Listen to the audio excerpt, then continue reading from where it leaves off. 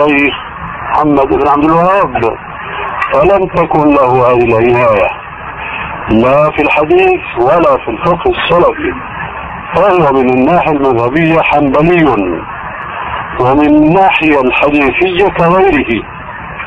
فليس له آثار في الفقه تدلنا على أنه كابن تيمية سلفي المنهج في التفقه في الدين.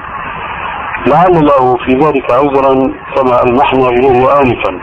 وكذلك في الأحاديث فهو كغيره مع الأسف الشديد. لا معرفة عنده بالحديث الصحيح والضعيف.